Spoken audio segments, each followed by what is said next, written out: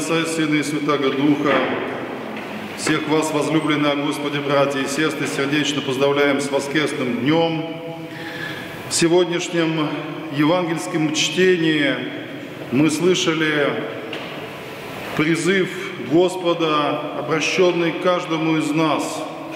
Ищите прежде всего Царствия Небесного и правды Его. И тогда все, что нам необходимо и потребно в этой земной жизни, приложится нам. Эти слова обращены каждому из нас, но не каждый имеет мужество следовать им в своей жизни, потому что для того, чтобы действительно возложить все свое упование на Бога, предать себя воле Божией, предать себя, что называется, в руце Божией, нужен и духовный разум, и духовный опыт, и определенное мужество, потому что каждому из нас хочется иметь некие гарантии своего земного бытия, своего будущего, гарантии безопасности, гарантии того, что и сами мы, и наши ближние будут э, обеспечены всем необходимым. И вот в стремлении к обеспечению этих земных гарантий, этих, этих земных благ, очень многие люди забывают о том, что именно Господь является источником любых благ, как не только небесных, но и земных, и что никакая земная сила не сохранит нас от зла, если Господь не встанет на нашу защиту, а Господь встает на нашу защиту в том случае, если мы, совершая некий нравственный выбор, встаем на сторону правды Божией.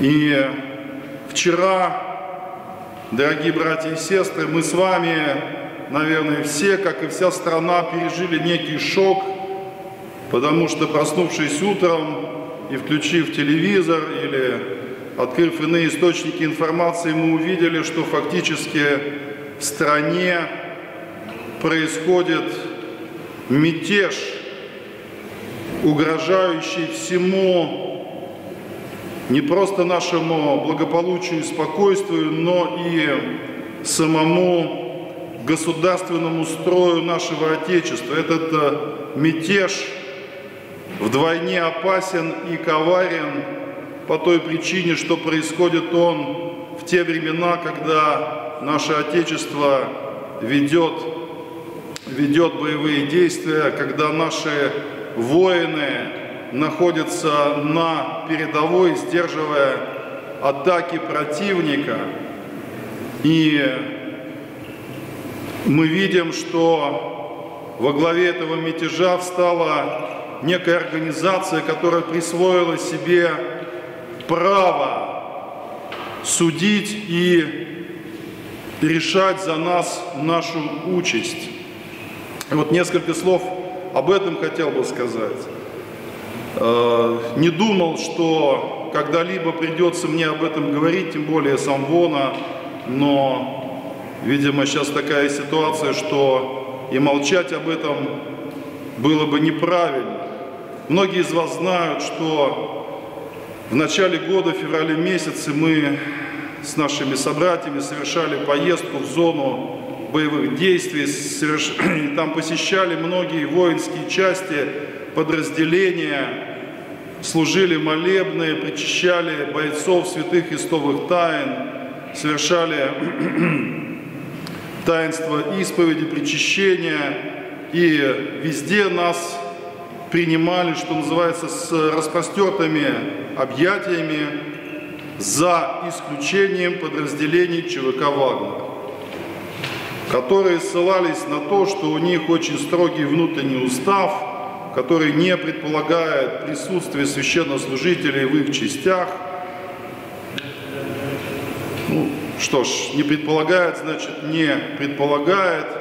Однако вот многие священники, которые совершали свое служение в этих местах, говорили нам о том, что многое, что происходит внутри этого подразделения, вызывает у них беспокойство, вызывает тревогу, а именно то, что главным образом среди руководящего состава этого подразделения распространены некие псевдорелигиозные, по сути своей, языческие, оккультные верования. И действительно, если мы посмотрим даже на эмблему ЧВК «Вагнер», где присутствуют пять неких слов, очевидно ключевых для идеологии этого подразделения, первое из этих слов – это «кровь». Дальше следует честь, справедливость, родина, отвага. Здесь все понятно и не вызывает это никаких возрождений, возражений. Но почему кровь на первом месте? А потому что понятие крови отсылает нас вот к тем самым языческим культам и жертвоприношениям, которые совершаются именно с пролитием крови. И это именно то, против чего всегда боролась Церковь Христова, которая совершает бескровную жертву.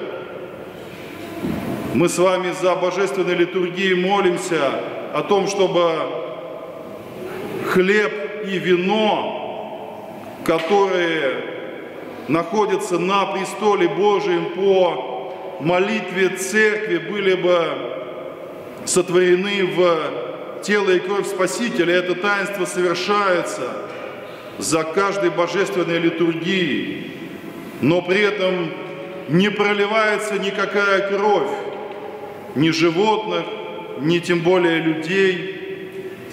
А вот те оккультные организации, которые, к сожалению, основаны на неких языческих, мистических идеологиях, они вновь пытаются возвратить те культы, с которыми боролись целые поколения наших предков, священнослужителей, монахов, мирян. И вот теперь, к сожалению, находятся люди, которые целью своей жизни полагают восстановление этих древних культов, в основе которых, по сути дела, лежит служение сатане, служение духом злобы поднебесной, служение идолам. И ничего удивительного нет в том, что тот человек, который провозгласил целью своей жизни служения этим культам оказался сам подвержен одной из тяжелейших демонских страстей, страсти властолюбия. Иначе это никак нельзя назвать, никак нельзя определить, когда человек в угоду своим амбициям ставит под угрозу не просто стабильность страны, но само ее существование.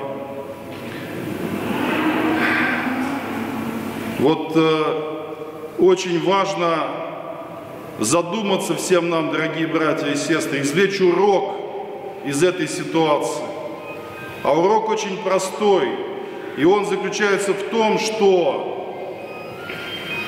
Великое дело защиты Отечества не может быть поручено никаким частным компаниям. Это общенациональная задача. И здесь невозможно откупиться, заплатив деньги неким частникам, почивать на лаврах и думать, что эти люди за эти деньги выполнят эту работу. Ничего подобного.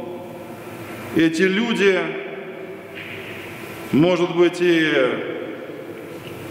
совершив некие даже воинские подвиги, потом снова придут к нам и скажут, что денег нам недостаточно, мы хотим иметь власть здесь, над вами, над этой страной, над этой землей. А деньги это только лишь инструмент, это некий промежуточный этап. И вот дай Бог, чтобы вот эта встряска, которая вчера так вот э, всколыхнула весь наш народ, послужила бы и к некоему духовному вразумлению. В том числе относительно того, что ни в коем случае нельзя заигрывать вот с этими культами, с этими ритуалами, в основе которых, повторюсь, лежит идолослужение, служение сатане и ангелам его. Пора бы уже сделать вывод всем, наипаче же во власти сущим, тем людям, тем людям, на которых лежит бремя принятия решений, бремя ответственности за страну, что невозможно и недопустимо. Особенно в те времена, которые мы переживаем, вот э, давать свободу таким формированиям, которые, при, прикрываясь некими благими целями, по сути дела преследуют цели совсем иные, враждебные нашему Отечеству, нашему народу и в конечном итоге Церкви Христовой, потому что не может быть ничего общего между крестом и Велиаром, как об этом нам говорит апостол Павел. Поэтому, дорогие о Господе, братья и сестры, нам не только нужно сохранять спокойствие, как к этому нас призывает Святейший Патриарх, но, конечно же, и усилить молитву о вразумлении народа нашего, потому что, к сожалению, вот это семя язычества, оно отнюдь не изжито, оно продолжает не просто давать свои горькие плоды, а своими метастазами поражает народный организм, тело народа. И не только тело, но и душу. Вот поэтому в этот светлый воскресный день, день святого Петровского поста, давайте задумаемся над э, тем, что произошло по милости Божией, вроде как данная конкретная ситуация разрешилась.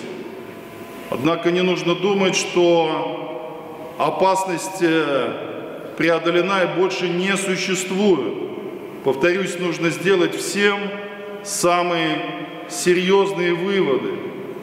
И вновь и вновь Обратившись к истории нашего Отечества и нашей Церкви, мы видим, что не случайно держава российская всегда опиралась на Церковь Христову, а Церковь Божия в лице государства имела надежного покровителя.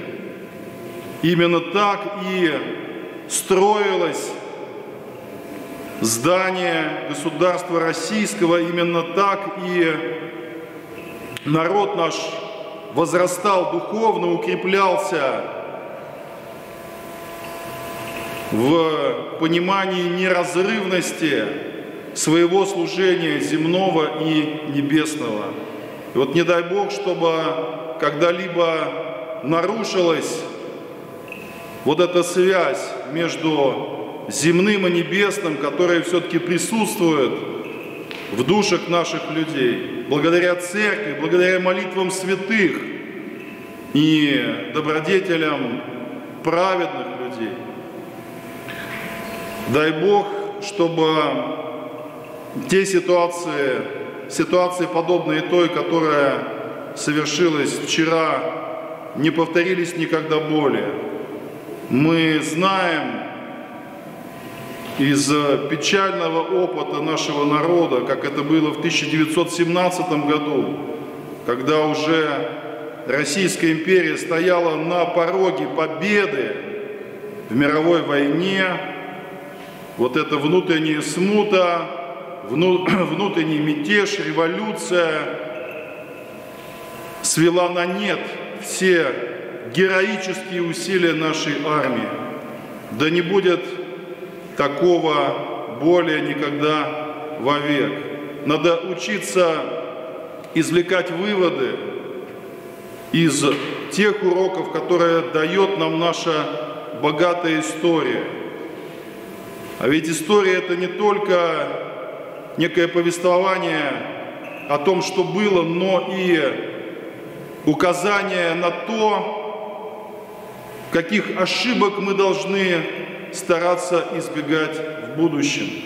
Если мы люди разумные, если Господь дал нам сердце и разум для того, чтобы осмысливать и осознавать те порой трагические события, которые имели место в истории нашего Отечества.